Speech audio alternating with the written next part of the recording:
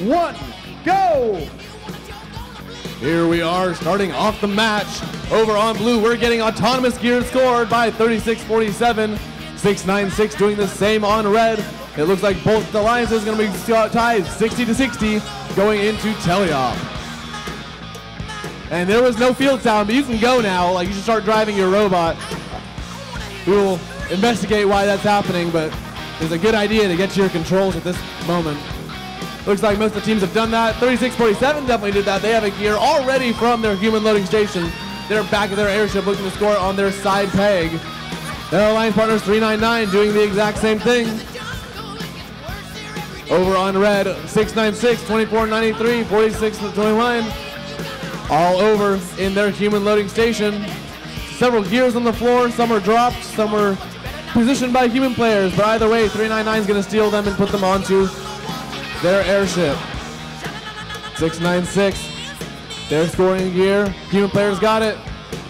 It is up and good. 3647 Millennium Falcons. That tiny little robot flying across the field.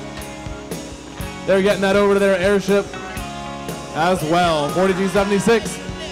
Surf City Vikings, one of our event hosts, in the middle of the field. Looks like they're going to be trying to go get a. Uh, they're getting a gear over on the far side of the field. Nope, they're triggering the hoppers. They're going to start shooting.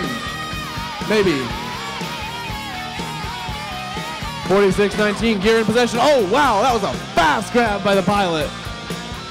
They're getting some pinning on 36-47, preventing them from getting that gear. The 36-47 gets it anyways. They're a small little robot and they can just fly through the defense. Unfortunately, their size makes them easy to push around. You know, got trade-offs for everything. Anyways, we're counting down. We're tied 140-140, and we have 30 seconds remaining in the match.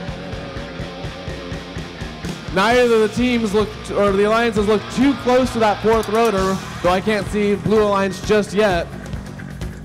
It's going to come down to climbs and any fuel that could be scored.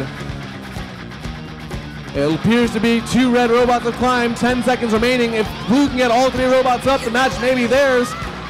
It looks good for Blue, and it looks like that is how we are going to end our match.